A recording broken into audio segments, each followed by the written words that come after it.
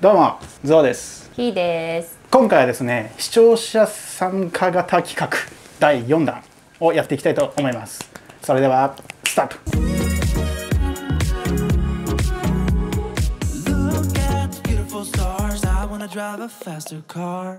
はいということでですね今回はリンカさんが、えーパッキング動画を送ってくださいました。ありがとうございます。ありがとうございまということでね今回のパッキングのテーマとしては、はい。一人ディズニー。そしてですねダッフィーがすごく大好きなす。うん。はい。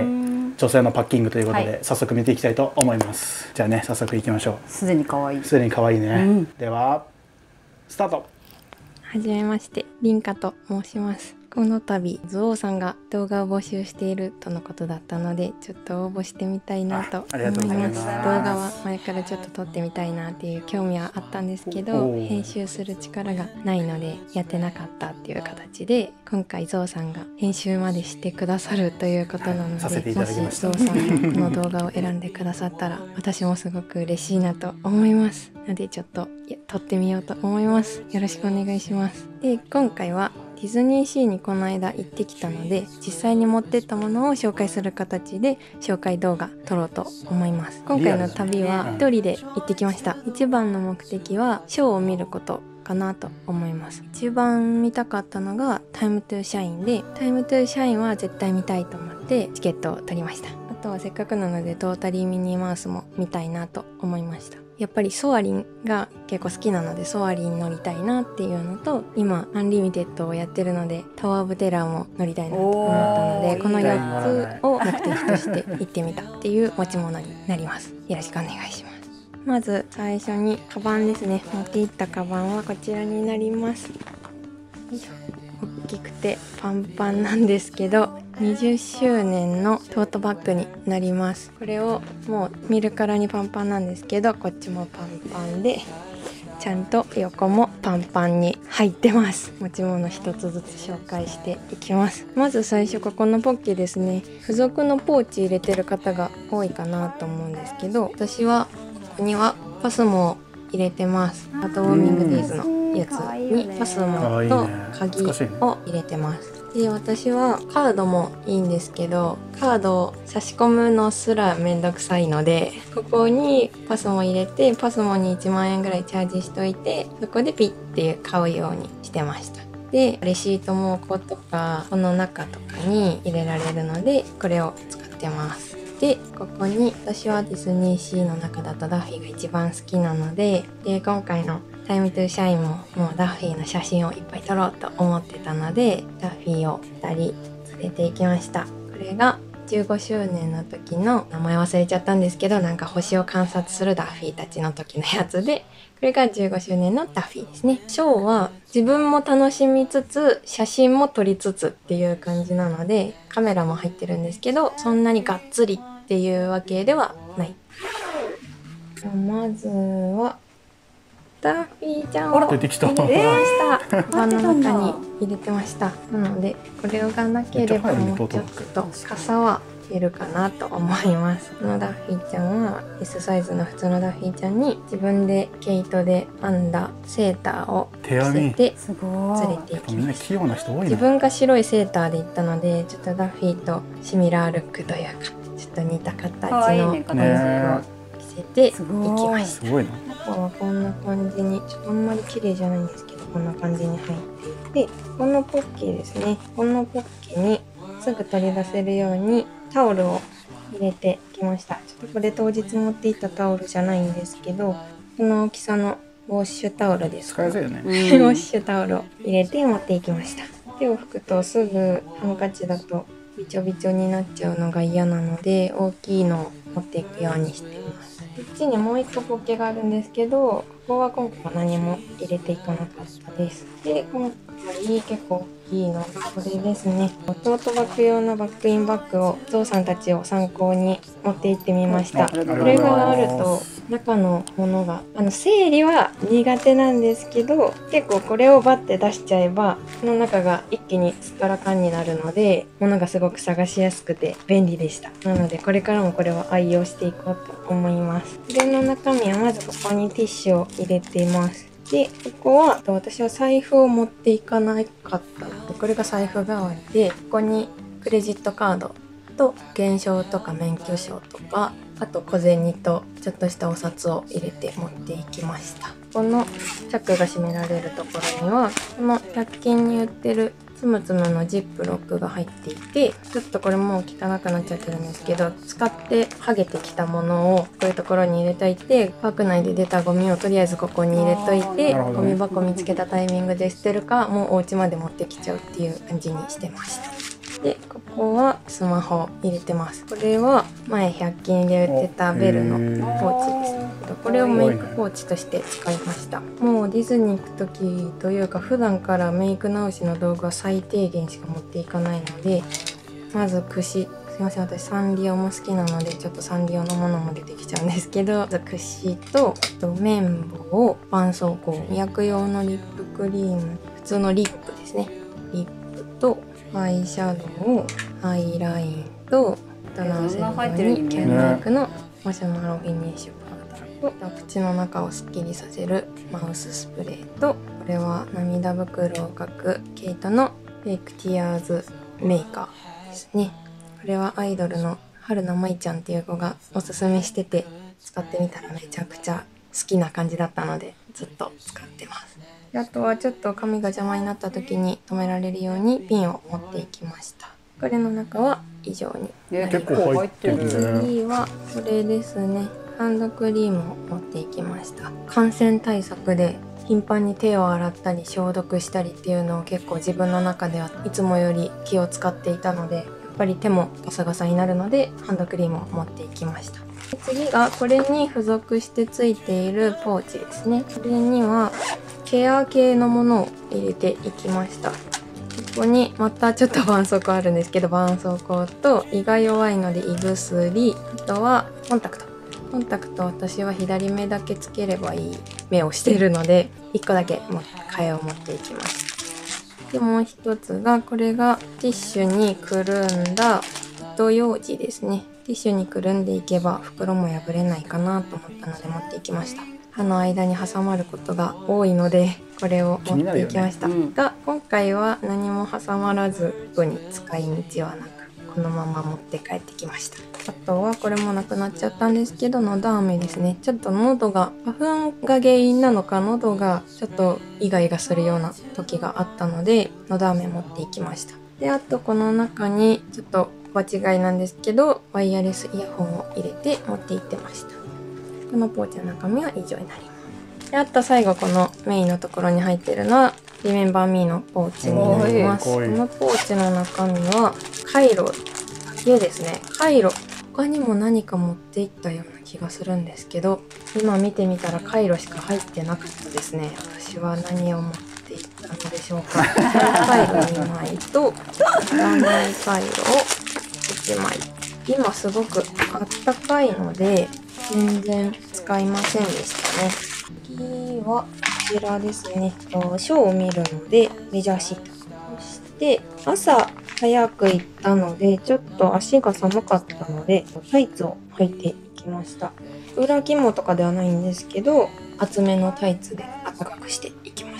で昼間は今の時期すごく暖かくなるので脱いじゃってで夜寒くなったら履こうと思ってたんですけど夜寒くならなかったので結局朝だけ履いてここにパンパンに入れて一日中持って歩いてました。次はこちらですね。ここには温かいお茶を入れて持っていきました。保温性がすごく高いので一日中温かい感じ昼間もあったかい飲み物の方がなんか体にいいみたいな話も聞くのでそんなに熱くしないでちょっとあったかいぐらいの飲み物を持ってま行くのが私はおすすめです、まあ、でもなぜかいつも温めすぎちゃって朝は舌をやけどしますこちらですね。今回タイムトゥーシャインでダッフィーを見るのが目的だったのでダッフィーのお耳を持っていきました。来月お誕生日を迎えるのでこのシールをもらいました。一人で行ってもキャストさんにいっぱい話しかけてほしいタイプの人なので 私はこれをつけていきました。で次はこちらです。ダッフィーの日傘になります。雨を降るよ、えー、と予報はなかったので完全に日傘として持っていきました。昼間やっぱり過ごしてみて思ったのはすごく日差しが強くて暑いと思ったのでこれは本当に持って行ってよかったです。まああったかいぐらいなのでなくてもいいんですけどやっぱりちょっとずっと日に当たってるとあんまりいい気がしない ので日は遮りつつ気温はあったかいっていうとても良い環境でいるためにこれを持っていきました。これはジップロック大きめのジップロックになります。いろいろ食べたいものがあったでただ私はそんなにいっぱい食べられないので買ってちぎって半分だけ食べといて残りの半分はもう口つけずにここに入れておいてで家に持って帰ってきて夜ご飯で食べたりとか家族にあげたりとかしようかなと。思って持っていきました。んですが美味しくて。食べてみたら美味しくて意外とペロッと食べてしまったので今回この子の役目はありませんでした。と最後ですね。最後はカメラと望遠レンズになります。カメラは父が何年も前に使っていたものを今使ってないので譲り受けたというか貸してもらってるっていう感じなのでどういうものなのかはあんまり分かってないんですけどニコンの D3100 っ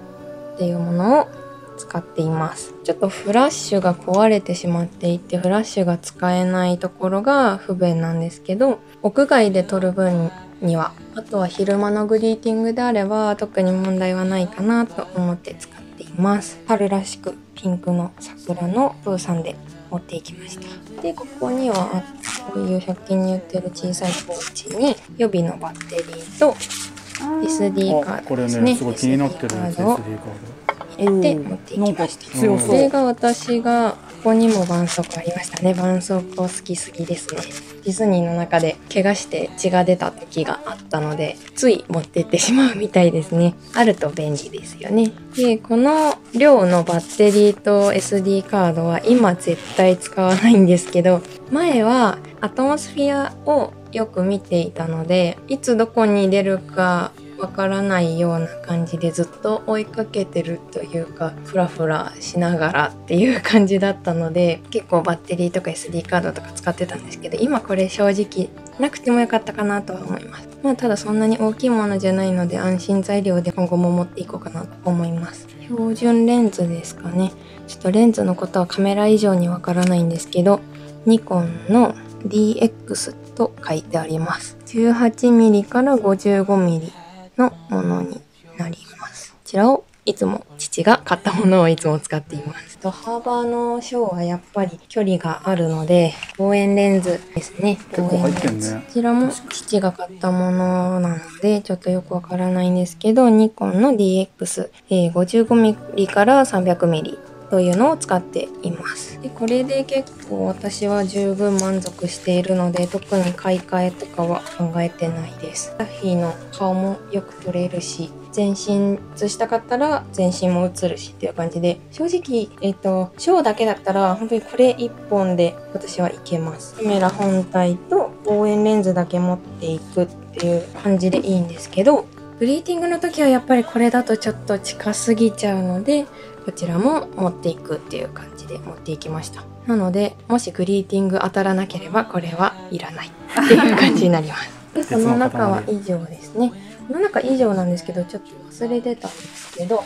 ウルトラライトダウンフードがついてないタイプのウルトラライトダウンをこちら持っていきました。で本当に入ってたのって思うかもしれないですけどこれも入ってましたでもちろん昼間は全然使わなかったんですけど夜アトラクション待っている時に結構寒かったので本当にこれは持って行ってよかったなと思います。昼間は半袖でいいんじゃないかっていうぐらい暖かかったのに夜はすごく寒かったので私は寒いのがすごく苦手というか耐えるのが嫌なのでウルトラライトダウン持ってってポカポカにしてコートの下にこれを着てました。これで以上になります。私のディズニーの持ち物はこんな感じでございました。ここまでご視聴いただきありがとうございます。ゾウさん、ヒーさん、いつも面白い動画をありがとうございます。YouTube ではちょっとあんまりコメントとかをできていないんですけど、いつも見させていただいております。これからもぜひよろしくお願いします。ではまた楽しい動画お待ちしております。絡みます。絡みますはいということで、えー、リンカさんのパッキング動画でした。素晴らしいですね。はい素晴らしい、はい。で、えっと、送ってくださったのが、うん。まあ、3月かな、うん。うんの、えーディズニーシーに行った時のパッキングなんですけど、まあ、4月の20日そして今日ですねこの動画がアップされてる日が、えーちょうどリンガさんのお誕生日ということで、まあ、せっかくなら誕生日にアップしようかなと思って、はい、ちょっとねあのずれ込んじゃったんですけどこの日に選ばせていただきました。本当にありがとうございます。おめでとうございますすすごい。素晴らしいですね。素晴らしい。はどうですか？気になったところというかおおって思ったバッキングのところとか。いや結構防寒具からうんうん。望遠レンズまで入っていて、うん。ダッフィーちゃんも入っていてあのサイズ感とかは。すごく過不足なくねめっちゃ入ってたよね、うん。うんあまだ出てくるの？っていう驚きが ありましたね、うん、確かにすごかった。すごかった。はい。なんかやっぱり3月は本当に気温が難しいから、ね荷物難しいなっていうのがあるんだけど、あ今の時期はね、うんうん。多分今紹介してたものよりももうちょっと薄でウルトラライトがいらなかったりとか、うん。タイツがなかったりとかはすると思うけどやっぱまだ差はあるからね、うん、その辺の防寒具系は、まあ、気をつけた方がいいかなって思うのと、僕がいいなと思ったのはやっぱりお父さんからね水に受けたカメラっていうのがこうちょっと僕の中ではねこうなんだろういいなというか、まあ、憧れだなという、はい、ふうに思って仲がいいんだろうねきっとね。確かにうんすごいいいよねその家族で受け継ぐじゃないけど、そうそうそう。そうしかもね新しいのじゃなくてそれでいいっていうところがまたちょっとなんかちょっとジーンとしてしまったっていう、はい、ところでございます、は いでこの動画にですね続きっていうよりも実際に行ってみてどうだったかっていうのをリンカさんがね動画に撮ってくれてます。お。そう。でちょっと長くなっちゃったんで一旦別に分けてこの動画の説明欄にちょっと限定公開としてはい。うん、すっごい久々にディズニーに行くっていう方にはめちゃめちゃ参考になると思います。えー見たい。ぜひね説明欄のリンクから飛んで見てみてください。はい。最後まで見ていただきありがとうございました。この動画いいと思ったら評価そしてチャンネル登録をぜひぜひよろしくお願いいたします。また各種 SNS でやっております動画の説明欄にリンク貼っておきますのでそちらからぜひフォローよろしくお願いいたします。それではまた次の動画でお会いいたしましょう。バイバイ楽しかった。ありがとうございます。ありがとうございます。おめでとうございありがとうございまます。す大したことはできないけど小さなあいいよ。いくよ。うん